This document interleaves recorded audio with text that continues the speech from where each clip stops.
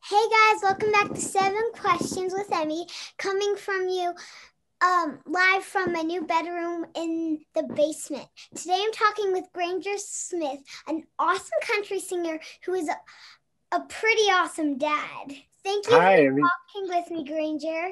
Oh gosh, thank you for having me. I like your dress. Thank you. Why did you decide to be a country music artist? Because I listened to one of my heroes named George Strait and he I just loved his songs and I wanted to play guitar and sing some of his songs and then I found out I love to play songs and then I love to write songs and then uh, it just after years after years I just I loved it more and more. I still do. My little brother Elliot loves Bye Baseball. Why did you decide to record that song?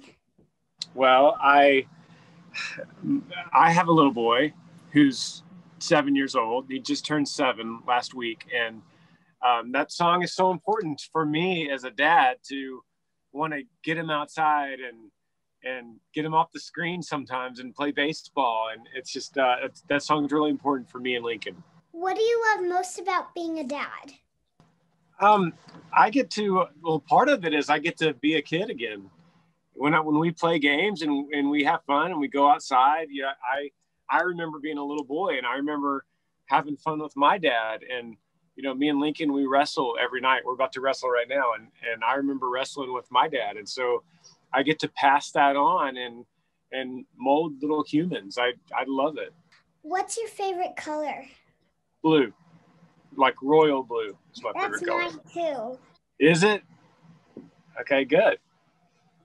Um, I'm sorry to hear that your little boy River drowned, but I think it's it's neat that his organs were donated to others. What do you do when you miss River, and do you send balloons to heaven like in your song? Well, we miss River in our family uh, every day, all the time. We think about him, and the best thing we could do when we miss him is to um, think about his little legacy and tr- try to um, help others in what we say. Live like Riv. Riv was always barefoot and fun and running and playing, and so he lived life in the moment. So we try to live like Riv, and that means be in the moment as as best that we can and be be present, not worry about problems of tomorrow and just live right here and today. I know you love the outdoors.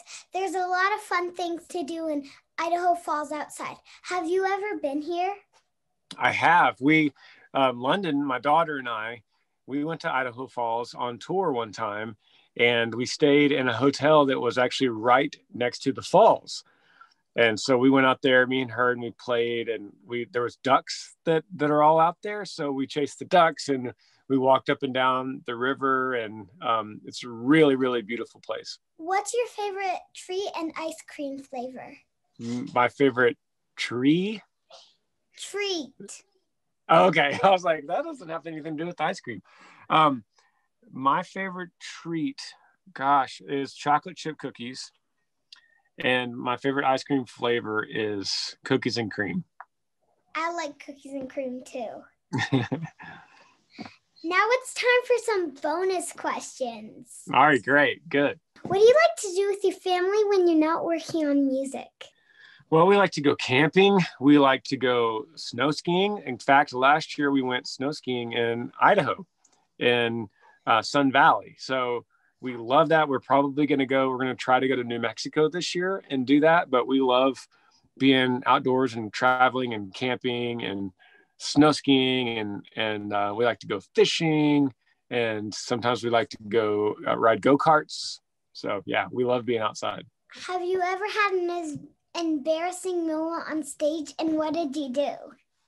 yeah i fell off the stage one time and i broke two ribs and one of the ribs punctured my lung and then i got back up and i was very embarrassed and i sang a little bit more and then i had to go to the hospital and recover from the broken ribs it was it hurt a lot and i was embarrassed too What's your favorite thing to order at a restaurant?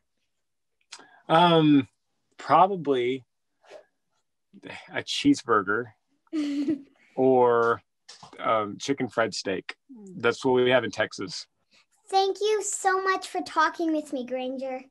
You are fantastic and you're welcome anytime. Bye. Bye.